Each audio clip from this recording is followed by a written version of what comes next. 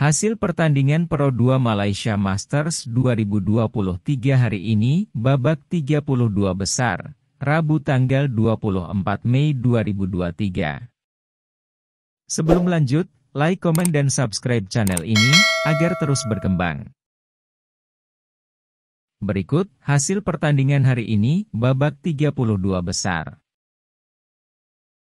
Di sektor ganda campuran, Ye Hongwei dan Li Qiaxin dari Chinese Taipei, kalah menghadapi Dejan Ferdinandsyah dan Gloria Emmanuel Wijaya dari Indonesia, dalam pertandingan dua set dengan skor 17-21, 11-21 dalam durasi 32 menit. Di sektor ganda campuran, Adam Hall dan Julie McPherson dari Skotlandia, menang menghadapi Zakaria Josiano Sumanti dan Hediana Juli Marbella dari Indonesia, dalam pertandingan dua set dengan skor 24-22, 21-19 dalam durasi 41 menit.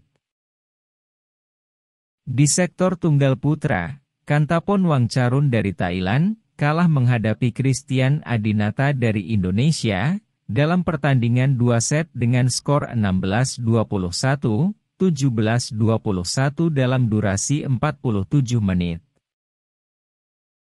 Di sektor ganda campuran, Rehan Naufal dan Lisa Ayu dari Indonesia, menang menghadapi Mikkel Mikkelsen dan Rike Shobi dari Denmark, dalam pertandingan tiga set dengan skor 15-21, 21-11, 21-14 dalam durasi 51 menit.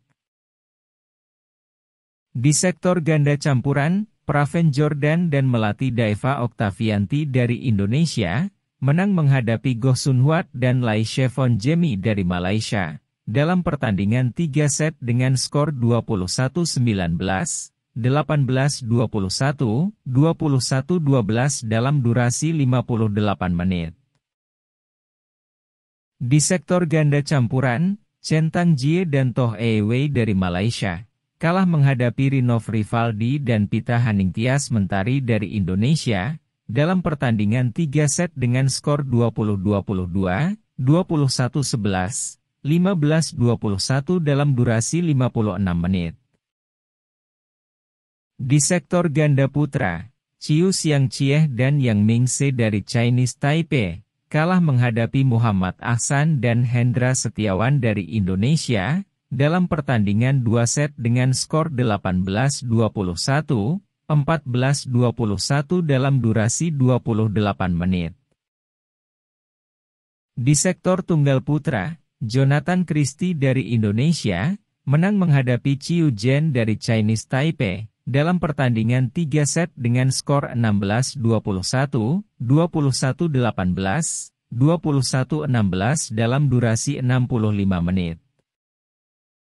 Itulah hasil pertandingan sementara hari ini, nantikan update berikutnya.